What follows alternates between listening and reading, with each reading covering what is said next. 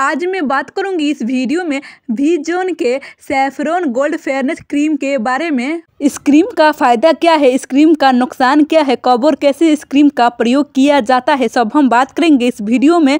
लेकिन वीडियो को शुरू करने से पहले आपसे छोटी सी रिक्वेस्ट है। यदि आप पहली बार मेरे चैनल ज्ञान सी पर आए हैं तो मेरे इस चैनल को ज़रूर सब्सक्राइब कीजिए। बगल में बेल आइकन में ऑल नोटिफिकेशन ज़रूर ऑन कीजिए। और वीडियो पसंद आए तो इस वीडियो को लाइक ज़रूर कीजिए। और इस वीडियो को अपने दोस्तों के साथ भी ज़रूर शेयर कीजिए। क्योंकि मैं अपने इस चैनल पर इसी तरह की इन्फॉर्मेटिव वीडियो लाती रहती हूँ। चलिए, अब हम वीडियो को शुरू करते हैं। सबसे पहले हम बात करेंगे इस क्रीम के फ़ायदे की। यदि आपके चेहरे पर दाग धब्बे है पिंपल्स की निशान है, यदि आपके चेहरे पर कालेपन की समस्या है, चेहरे पर दाने दाने हो गया है, चेहरे पर कील मुहासे की समस्या है, आँखों के नीचे कालेपन की समस्या है, चेहरे पर मुहासे है, झाइयाँ है, चेहरे पर एकनी प्रॉब्लम है चेहरे पर पोस्ट पिंपल स्कार्स की समस्या है तो आप इन सभी समस्या में इस क्रीम का प्रयोग कर सकते हैं। ये क्रीम आपके चेहरे के दाग धब्बे को बहुत ही तेज़ी से खत्म करता है।